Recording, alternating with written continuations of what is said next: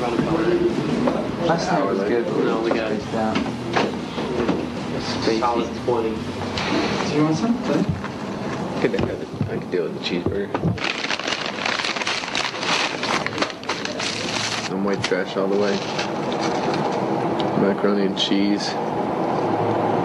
Doritos, Kool-Aid. I thought it was going to be more of like a board meeting with a bunch of tables and a lot of people, but it was like a concert or something.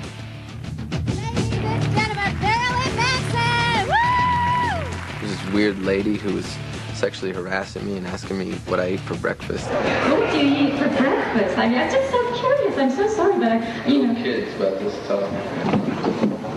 That's good. Very strange. The fact that it was me kind of answering questions even when they were stupid, some of them, it was more suited towards what I'm capable of enjoying. Hi, my friend. Hey, nice to meet you. It's a little awkward meeting salespeople. Nice to meet you. Very honored to see you. It's more awkward when they compliment you. Thank you very much for a great, great, mysterious presentation. Sometimes I think that they're making fun of me. Uh, you seem to be uh, very outrageous. What? So I always, I always kind of have my guard up because I think that they're they're mocking me because it just doesn't seem right that they like me. We are ready to sell your records. She had some very strange questions. Martin, you ever gonna let us leave or Who no? gives you a, gonna a keep rubber talking? alligator? My image and my personality is very childish. Can we get an ice cream cone machine to bring on tour? It's also very cartoonish. I'll sprinkle some sugar on that little kid's head and eat it. I wouldn't consider myself necessarily a nice person or a mean one. I got people skills. I usually give back whatever people give to me. Strangely, they, they don't seem generally affected by me here. They just look and they look away. Even in the Midwest, people at least have a look of disgust. The devil obviously has a great sense of humor, so that's always my biggest inspiration. And if God exists, he obviously has a sense of humor. I wouldn't be here. 2000. Get there in the morning. Split. Let's go to the place. Let's go to the place we were talking about first, the outside the street by the train station. I usually like to go shopping when I'm there.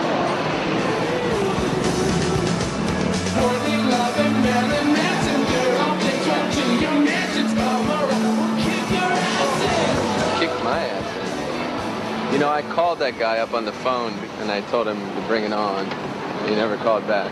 Anytime I go to Japan, I like to buy toys. What are you, what are you guys doing?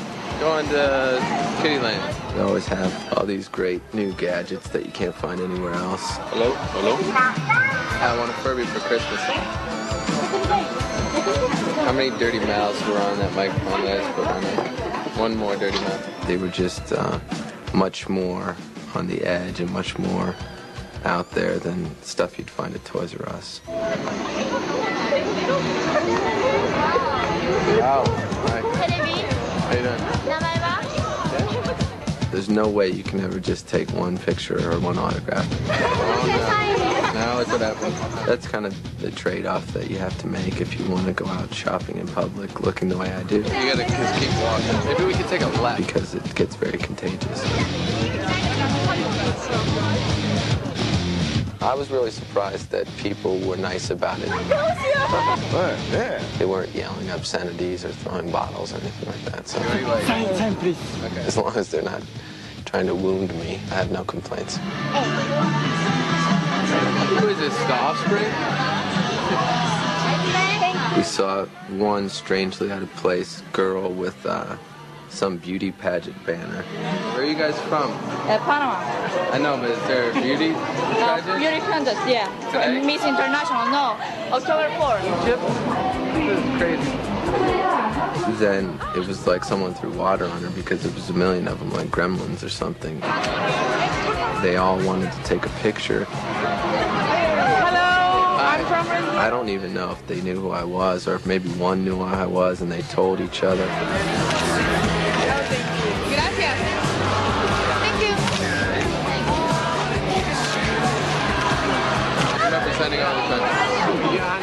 kind of embarrassing. I, I just I didn't know what to do. I felt like um, the Easter Bunny or something.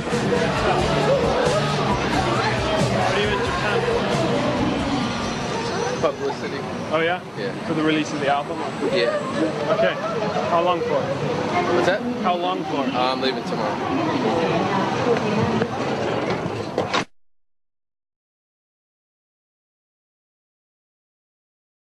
October 1st, 2000. There's a genuine sincerity to their enthusiasm. I think that they appreciate the fact that I take rock and roll as far as I can.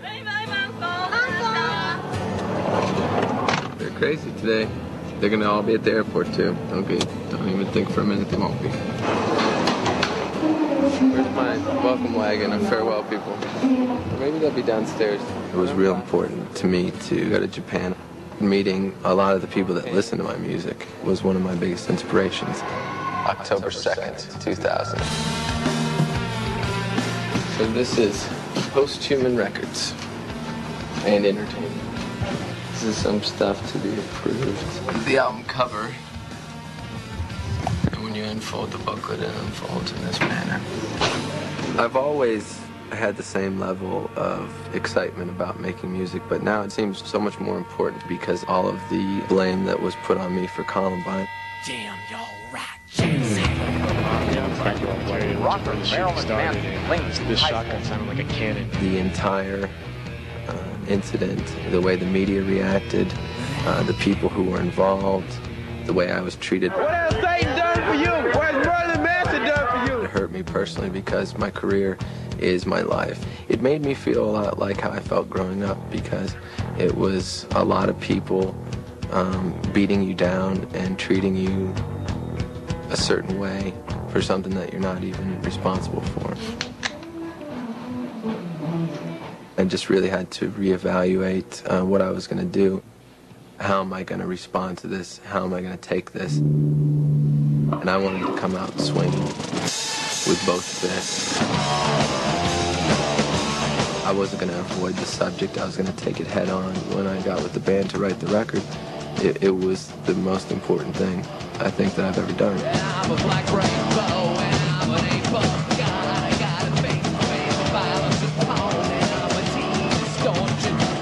It, it's a great feeling to write a song, but to be able to perform it, it takes on a whole different life.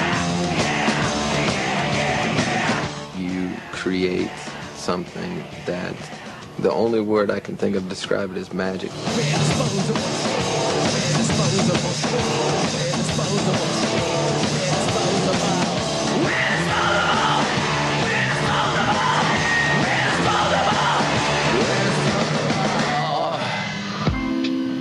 I hope that this is um, America's worst nightmare. You know, I hope that we can disrupt the regimented lifestyle that people love to set up for themselves. Um, that's what rock and roll was intended to be, and that's what I am, and that's what I'm always going to be. And the day that I'm not is the day I quit.